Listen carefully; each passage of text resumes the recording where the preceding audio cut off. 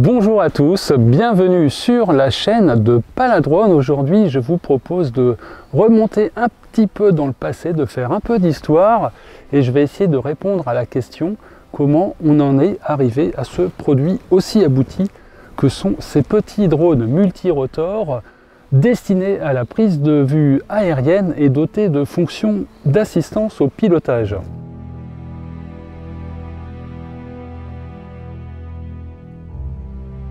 Si aujourd'hui le mot drone évoque pour beaucoup ce type d'engin avec quatre hélices télépiloté avec euh, parfois une caméra, il faut savoir que l'avion sans pilote existe depuis très longtemps, il est quasiment aussi vieux que l'aviation.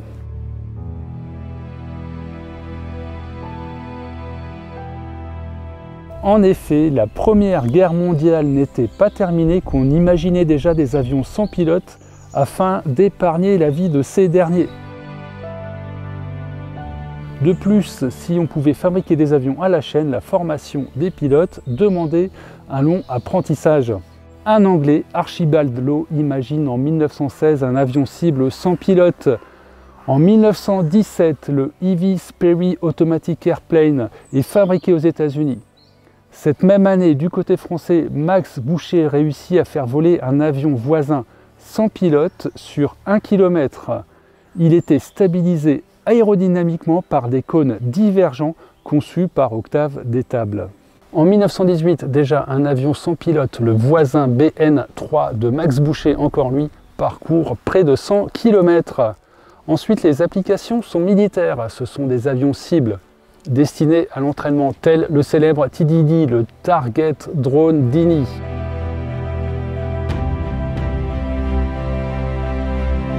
Vient l'utilisation offensive avec le tristement célèbre V1 à pulso-réacteur conçu par les Allemands. Il fut utilisé à grande échelle, près de 10 000 furent lancés. Ceci dit, cette bombe volante était plus l'ancêtre des missiles de croisière que des drones tels qu'on les connaît aujourd'hui.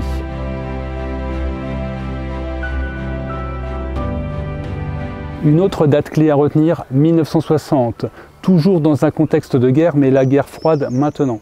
Un avion espion américain, le U-2, est abattu au-dessus du territoire de l'URSS qui, en capturant son pilote, contraint les États-Unis à avouer leur activité d'espionnage.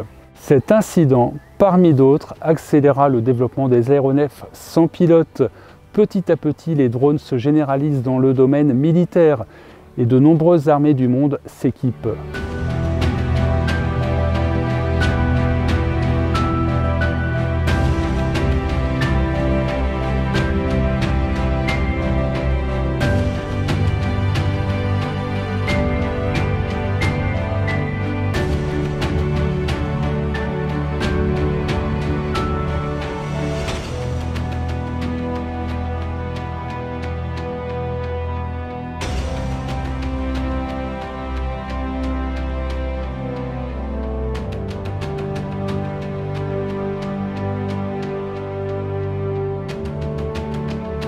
On vient de parcourir quelques événements marquants dans l'histoire du drone militaire. On n'y trouve pas réellement les origines de nos petits drones multirotors grand public et je vous propose d'aller fouiller dans un autre domaine, celui de l'aéromodélisme.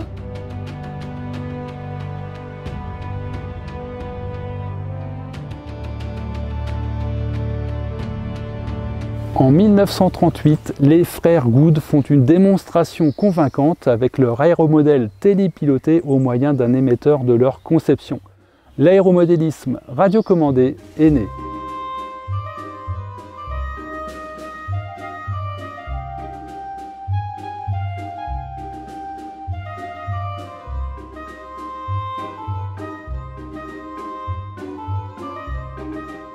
Les premières radiocommandes n'ont qu'un seul canal pour piloter la dérive en tout ou rien. Il faut attendre les années 60 avec la commercialisation des premiers émetteurs pour que la discipline se développe. Les progrès arrivent petit à petit.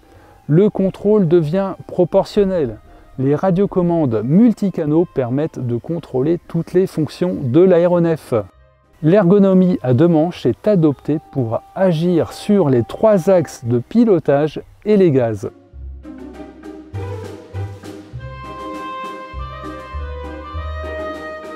La modulation de fréquence fait son apparition dans l'aéromodélisme dans les années 80.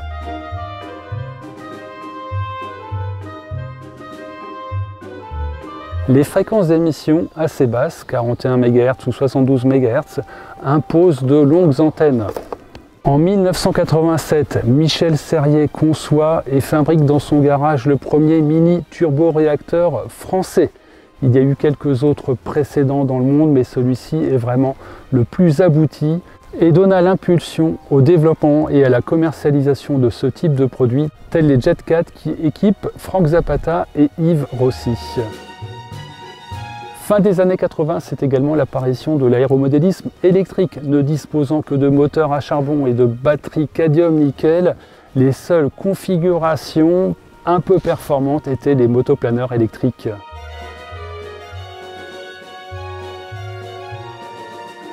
Les microprocesseurs font leur entrée dans le monde de l'aéromodélisme. Les radiocommandes en sont équipées et elles deviennent programmables. On peut maintenant enregistrer des modèles, mixer des fonctions, ajuster les débattements électroniquement. À cette même époque, les fabricants commencent à proposer les kits prêts à voler, les fameux ready to fly, ceux qui dispensent les moins courageux ou les plus occupés des étapes de fabrication des aéromodèles, de la découpe du balsa jusqu'à l'entoilage.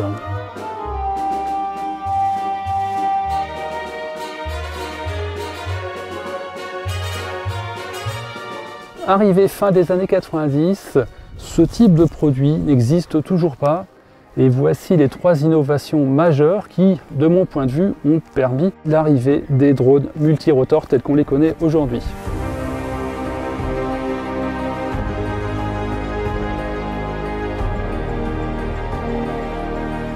Le premier progrès technologique important qui était essentiel à l'arrivée des drones, c'est, deuxième partie des années 90, le développement des batteries lithium polymères qui permettent pour une même masse embarquée de quadrupler l'énergie si on les compare à des batteries cadmium-nickel qui étaient utilisées à l'époque dans le domaine de l'aéromodélisme. La deuxième innovation qui a été décisive, c'est l'arrivée des tablettes, smartphones et moyens de télécommunication associés qui permettent d'assurer les fonctions de retour vidéo, de télémétrie et de programmation des vols. Enfin, j'arrive à la troisième innovation qui a été essentielle, c'est le développement des MEMS qui ont permis la fabrication de composants miniatures assurant la stabilisation de nos aéronefs. Alors avant cette époque, pour assurer la fonction de gyroscope par exemple, il fallait ce petit composant, une masselotte qui tourne, une espèce de toupie. Et par le couple gyroscopique, on était capable de détecter une inertie sur un axe de rotation. Donc vous imaginez la masse de ce composant, l'énergie à mettre en jeu pour le faire fonctionner, sachant qu'il en faut un pour chaque axe. Alors qu'aujourd'hui, on assure ces fonctions avec une microcarte capable de détecter des accélérations sur tous les axes.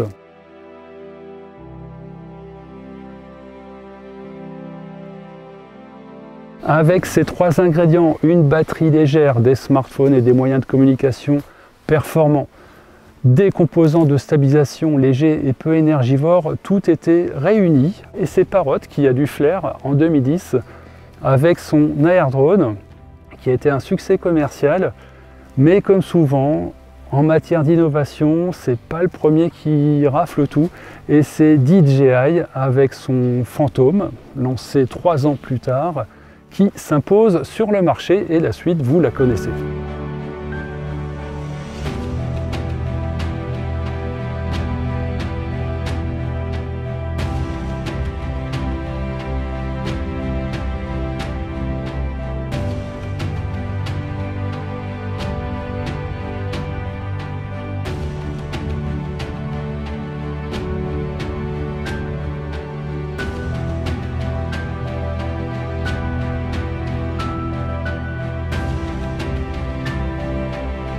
combiné aux caméras d'action qui étaient en train de faire leur apparition, les drones sont devenus de plus en plus performants dans le domaine de la prise de vue aérienne.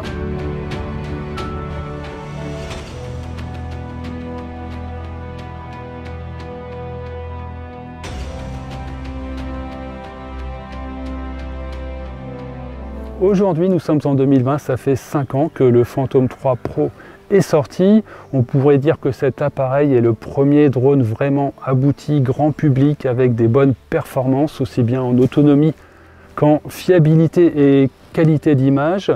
Donc 5 ans après, la question c'est est-ce qu'on a fait le tour des applications possibles avec ce type d'appareil ou est-ce qu'on a encore devant nous un potentiel d'utilisation pour les drones multirotors? Et ça, c'est une question que je vous propose d'adresser dans une prochaine vidéo. Merci de m'avoir suivi jusque-là et je vous dis à bientôt sur la chaîne de Paladrone.